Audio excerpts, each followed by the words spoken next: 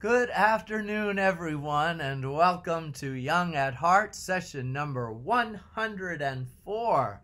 I'm Father James DiLuzio with the Paulist Fathers with rhymes, songs, stories to keep us young at heart, and today's selections are Mother Goose, and we're going to the birds with stories about Cock Robin and his very first love, Cock Sparrow, and how he outwitted a naughty little boy and perhaps the best known of today's rhymes, Who Killed Cock Robin? But before we get to that morbid thought, let's see how his first love came about and what Cock Robin did about it. For love is a many splendored thing, although who uses that word anymore? Have you ever used it? In your everyday conversation? Splendored? I have not. Here we go. Cock Robin got up early at the break of day and went to Jenny's window to sing a roundelay. He sang Cock Robin's love to little Jenny Wren and when he got unto the end, then he began again.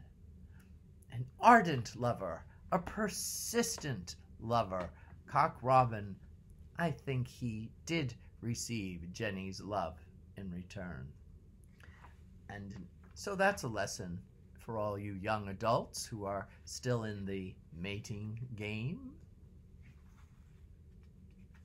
Okay, and now we have this.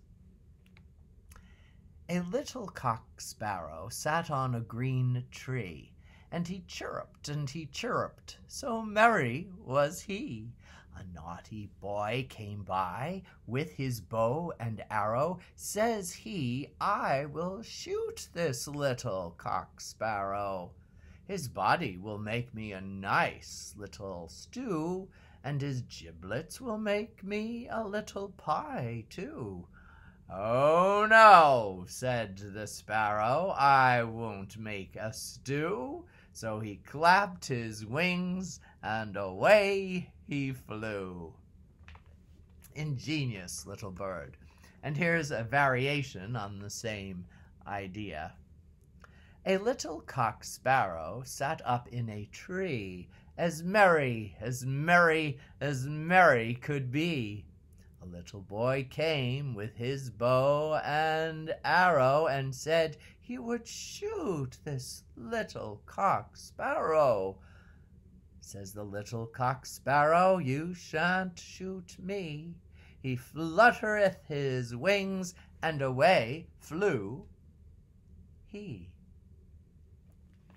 And now we come to the funeral, the death and funeral of Cock Robin.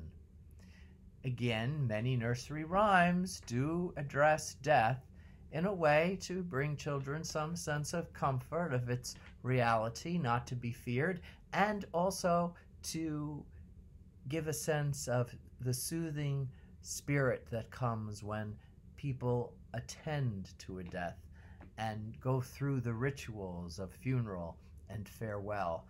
Something not to be afraid of, but to be inspired by. That we all come together in times of grief. So off we go. Who killed Cock Robin? I, said the sparrow, with my bow and arrow, I killed Cock Robin. Who saw him die? I, said the fly, with my little eye, I saw him die. Who caught his blood? I, said the fish, with my little dish, I caught his blood. Who'll make the shroud? I, said the beetle, with my thread and needle, I'll make the shroud. Who'll dig the grave? I, said the owl, with my pick and shovel. I'll dig the grave. Who'll be the parson? I, said the rook, with my little book. I'll be the parson. Who'll be the clock?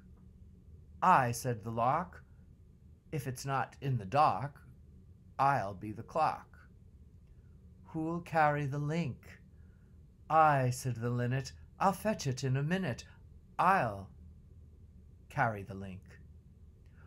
Who'll the chief mourner be? I, said the dove, for I mourn for my love. I the chief mourner will be. Who'll carry the coffin? I, said the kite, if it's not all through the night, I'll carry the coffin. Who'll bear the pall? We, said the wren, both the cock and the hen, we'll bear the pall. Who'll sing a psalm? I, said the thrush, as she sat on a bush, I'll sing the psalm. Who'll toll the bell? I, said the bull, because I can pull, I'll toll the bell. And all the birds of the air fell a sighing and a sobbing when they heard the bell toll for poor cock Robin. May you have comfort and peace. And as we were speaking of a funeral for anyone who has died in these many months from the virus or any other ailment, let's pause for a moment of silence and hopefully have some sense of thanksgiving for the lives they shared with us, or some forgiveness if they did not share well, but to be at peace, for that all are in the hands of God.